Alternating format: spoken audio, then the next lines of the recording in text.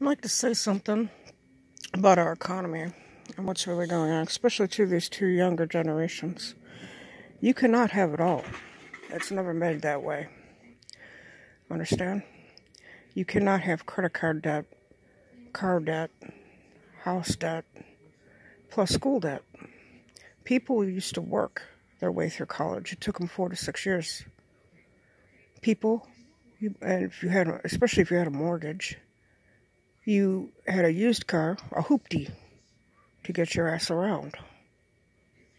People used to go and have mortgage burning parties. Ask the older generations about this, they know about it. You cannot have it all.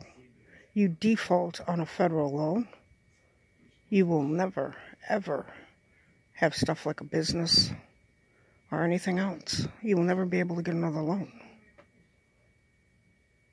You need to start wising up financially. You make your choices. Do you want a home or a new car? You can't have both. It's time to wake up.